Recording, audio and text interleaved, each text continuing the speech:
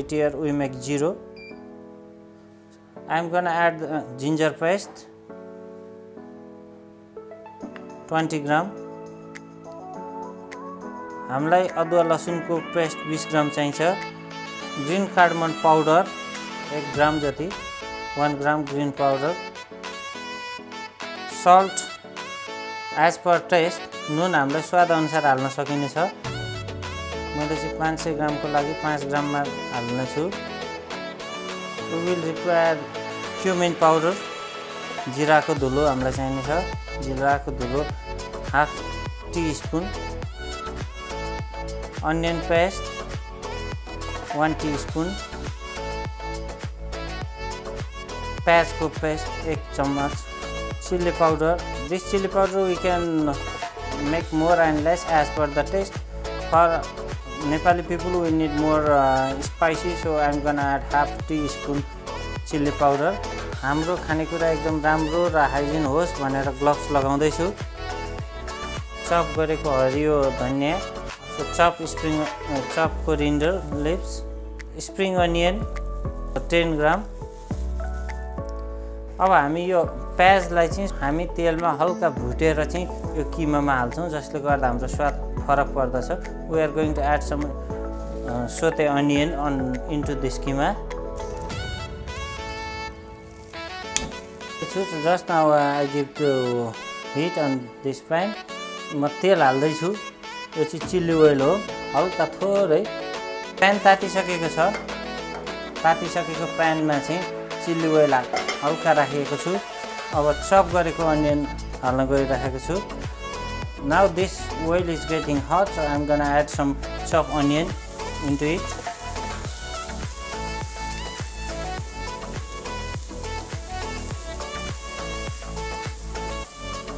For this 500 gram we will require 100 gram chop onion. पाँच सय ग्राम किमाको लागि चाहिँ हामीलाई एक सय ग्राम चप अनियन चाहिन्छ। यसमा हामीले चाहिँ नचाहिने स्वादहरू चाहिँ नमिठो बिटर खालको तितो तितो जस्तो परपराउने स्वाद जान्छ। यसरी भुट्दाखेरि।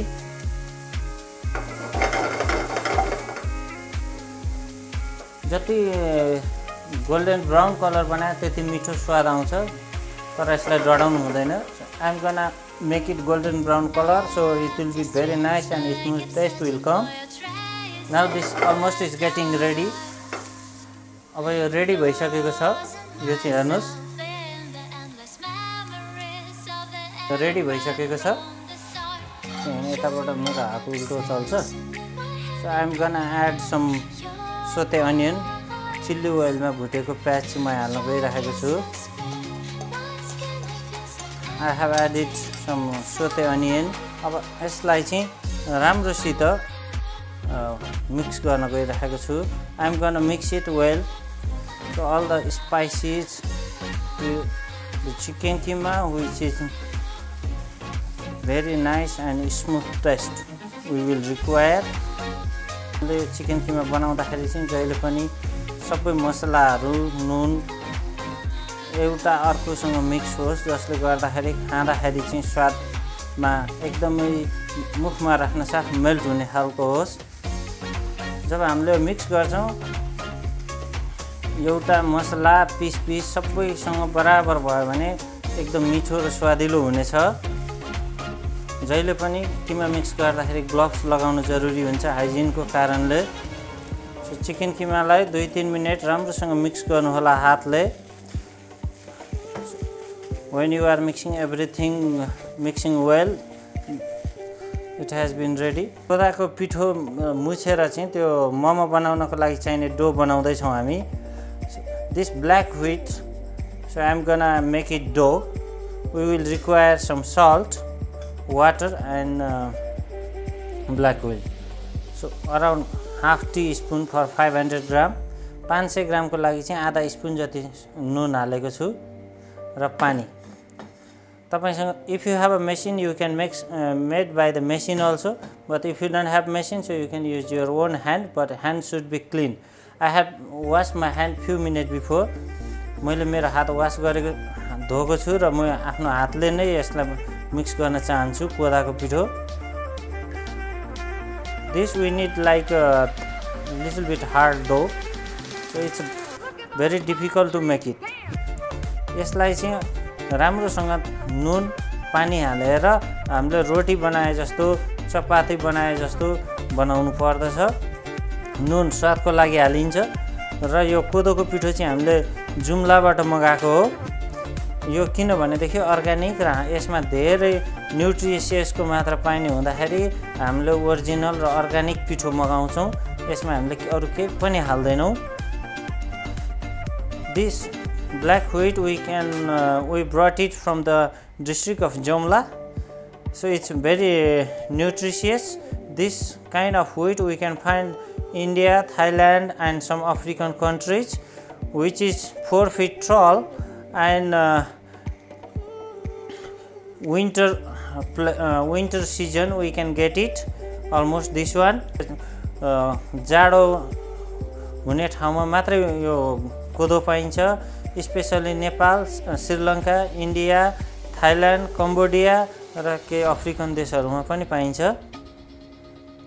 यसमा चाहिँ न्युट्रिसियसको मात्रा एकदमै धेरै हुन्छ र यो हाम्रो स्वास्थ्यको लागि एकदम राम्रो मानिन्छ। यसलाई चाहिँ हामीले चार पाँच मिनट जति मिक्स गर्नुपर्छ र यो पिठो मुस्दाखेरि चाहिँ हामीलाई एकदमै ध्यान पुर्याउनु पर्दछ किनभने यसमा ग्लुटोन भन्ने हुँदैन र मोमो बनाउँदाखेरि एकदमै भाँचिने सम्भावना धेरै हुन्छ। This is very difficult to make the dough because it doesn't have a gluten so it will break it very easily while, while making the momo so momo भनेको चाहिँ हाम्रो यो एसियन फुड हो स्पेसली थाइल्यान्ड ताइवान र चाइनामा पाइन्छ उहाँहरूले dim sum भन्नुहुन्छ especially Thai kitchen Chinese Taiwanese they are eating this and it's very healthy original from there. Now this dough has been ready. Mixing process is ready so we have to give some rest. यो चाहिँ मुछेर चाहिँ ready भएको छ। मोमो बनाउनको लागि चाहिँ पन्ध्र मिनट जति आराम दिनु पर्दछ यति गर्दाखेरि चाहिँ रसिलो खालको र मोमो बनाउँदाखेरि नभाँचिने हुन्छ। अब म यसलाई पन्ध्र मिनट रेस्ट दिँदैछु। I'm gonna give fifteen minute rest to this dough यो चाहिँ रेडी भइसकेको छ। अब हामी दो रोल गर्न जाँदैछु म।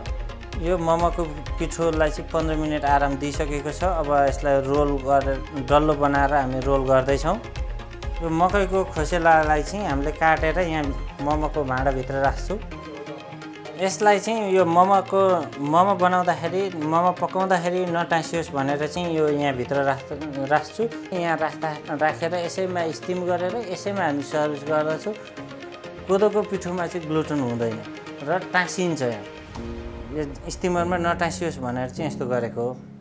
I'm gonna make it momo after that I will steam it in a same pot so momo will be on the top of the dish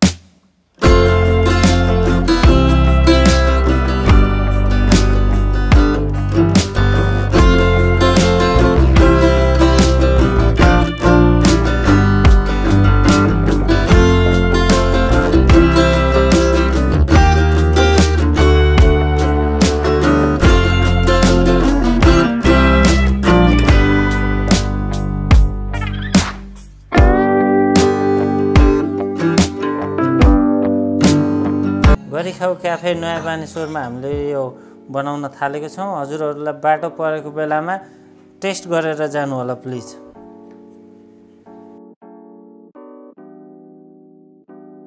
हजुरहरूलाई मानेश्वर आसपासमा हामी होम डेलिभरीको व्यवस्था पनि गरिरहेको छौँ।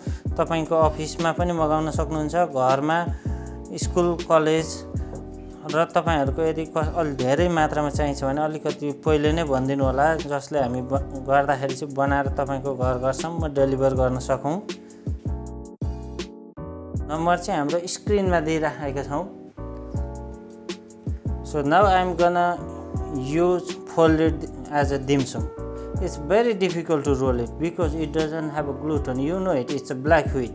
So it has a very nutritious and delicious taste for as for the taste it's very delicious and it has a very very good for your health because it's a gluten free and uh, I'm not going to use gloves because it's very difficult to fold it anyway we are going to steam it so we will kill the bacteria यसलाई चाहिँ gloves लाउनु त्यति जरुरी ठानिँदैन gloves लगायो भनेदेखि चाहिँ यो फोल्ड गर्न एकदमै गाह्रो हुन्छ टाँसिन्छ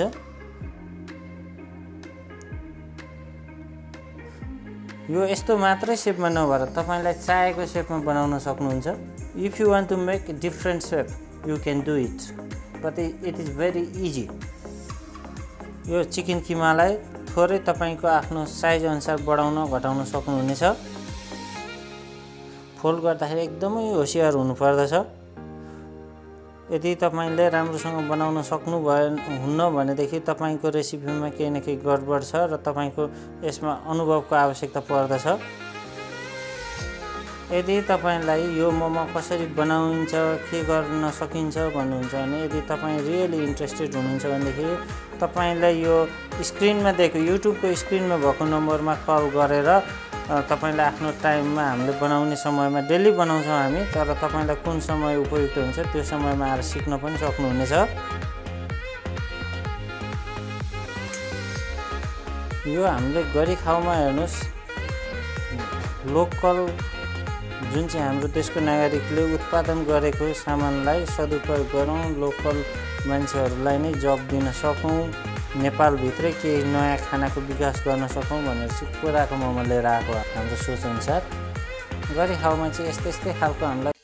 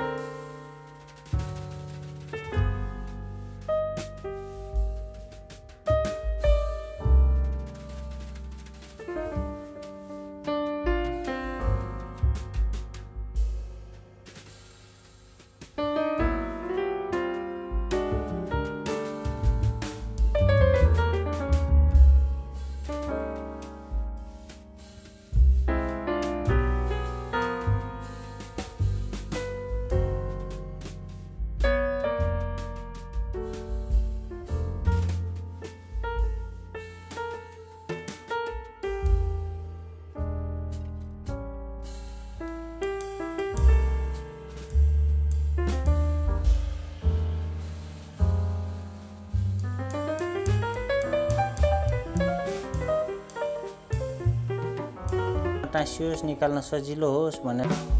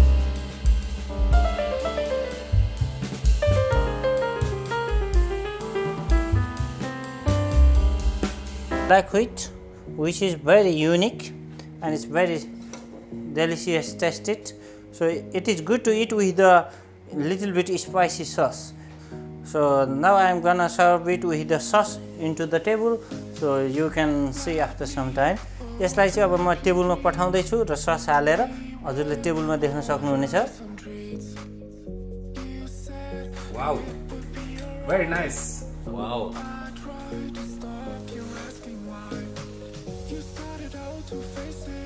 मैले जनपदी युट्युबमा एउटा भिडियो देखेको थिएँ गरी ठाउँको बारेमा होइन? अनि जीवनमा पहिलोचोटि टेस्ट गर्न पाएँ कोदोको मोमो।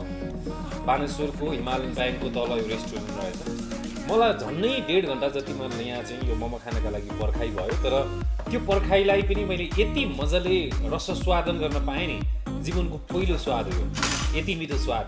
त्यो पनि कोदोको मोमो। तपाईँ पनि खानुहुन्छ? ओके आउनुहोस् नयाँ बानेश्वरको गरिखाउँ रेस्टुरेन्ट।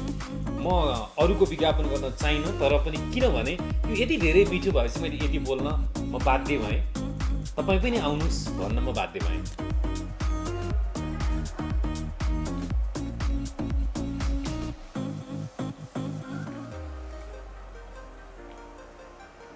कति मिठो? तपाईँले बनाए होइन आउनु भन्नु एकछिन बस्नु न। यो यति मिठो मलाई लाग्छ काठमाडौँमा कमै ठाउँमा मात्रै पाइन्छ होइन? तपाईँको रेस्टुरेन्टमा आएर मैले खान पाएँ।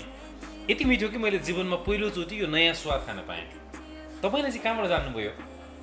हजुर यो चाहिँ मलाई एकदम काठमाडौँमा पाउने खानामा विकृति भएको देखेँ। जुन चाहिँ स्वास्थ्यको लागि एकदम उपयुक्त नहुने खानाहरू देखेँ र हाम्रो गरिखाउ रेस्टुरेन्टमा मेरो सोचमा चाहिँ सस्तो राम्रो फ्रेस र नेचुरल खाना प्राकृतिकमा जस्तो पाइन्छ जस्ताको तस्तै खानेकुरा बनाऊँ भन्ने उद्देश्यका साथ अरूको कपी नगरिकन म आफैले इनोभेसन गरेको कोदोको मोमो हजुर। यदि हजुरहरू पनि कोदाको मोमो खान इन्ट्रेस्ट हुनुहुन्छ हजुरलाई मनपर्छ भनेदेखि तपाईँ पनि नयाँ बानेश्वरको हिमालयन ब्याङ्क भएको ठाउँको गरिखाउ रेस्टुरेन्टमा बाटो परेको बेलामा अथवा फोन गरेर आउँदाखेरि यो युट्युबमा भएको लिङ्कमा तलको लिङ्कमा तल दिएको नम्बरमा इमेलमा फोन अथवा मेसेज गरेर आउन सक्नुहुनेछ। Thank you so much